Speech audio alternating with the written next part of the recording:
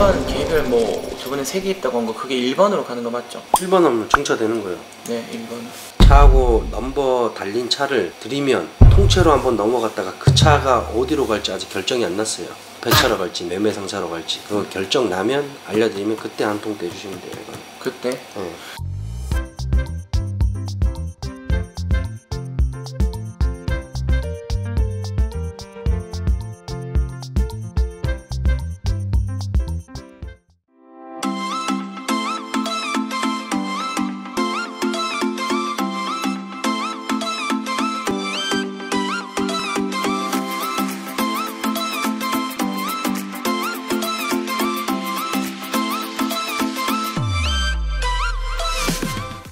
원래 저희가 영업용 먼저 준비하다가 어제 저랑 얘기하면서 주선 얘기해서 이 서류가 지금 오고 있어요 이건 오는 대로 제가 다시 일로 보내드릴게요 네. 어차피 시간이 걸려요. 치앞에서 한 번에 내려가서 접수하려면 네. 하남으로 하는 거예요? 그렇죠 이게 매출도 본대요 몇 매출 년 동안 보조. 유지됐는지 보조, 예. 그러다 보니까 지금 당장은 신규 법인에 들어와도 매출이 적기 때문에 아, 그게 기존에 있는- 만약에 기존에 걸리면 있는 걸로 예. 넣고 앞으로는 계속 이렇게 해도 되잖아요 어떻게 해요? 제 걸로 계속 계속 넣어놔도 되죠. 예.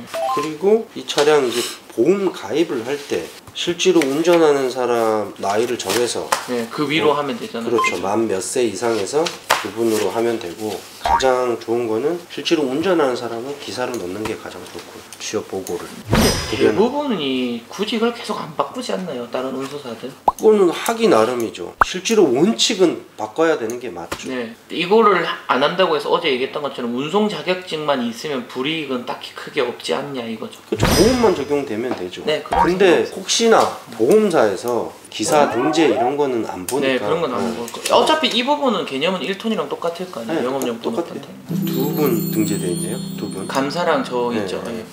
그리고 저희 운송이 일반 개별 뭐 저번에 세 개 있다고 한 거 그게 1번으로 가는 거 맞죠? 1번 하면 정차되는 거예요. 네, 1번. 음, 요건 오늘 요거 미팅 끝나고 갈 거라서 어. 받는 대로 보내드릴게요. 근데 요거는 저희가 나와야 돼요. 차하고 넘버 달린 차를 들이면 통째로 한번 넘어갔다가 그 차가 어디로 갈지 아직 결정이 안 났어요. 배차로 갈지 매매상차로 갈지 그거 결정 나면 알려드리면 그때 한 통 떼주시면 돼요. 이건. 그때 네.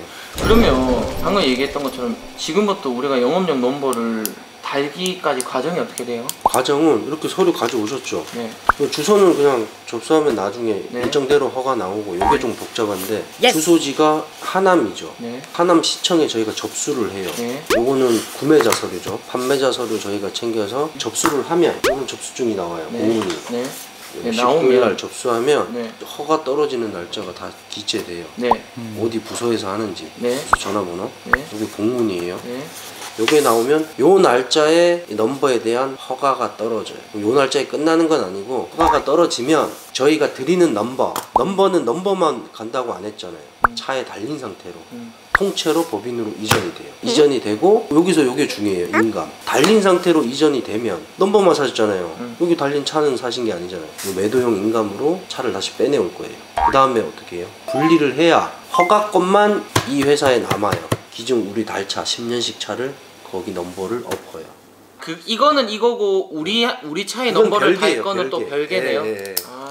그럼 이것까지도 다 해준다는 거죠? 다 이거 노란 넘버 장착까지 다 해도 걱정 안 하셔도 그럼. 저희는 차를 어디다 두면 돼요? 실차는? 실차는 두시고 싶은데 두고 네. 마지막에는 그 차 넘버가 필요해요. 흰 넘버가? 네. 네. 그거 나중에 흰 남바를 반납을 하고 네. 노란 남바를 장착해야죠. 그러면 마지막에는 우리가 그 차를 끌고 차량 등록 사업소에 가서 작업을 끌고 하네? 와도 되고 네. 넘버만 떼와도 떼, 되고? 떼와서 저희 쪽에 보내주셔도 되고. 그러면 거기서 다시 영업용 번- 번호를 받아서 우리가 부착하면 끝이네? 네네.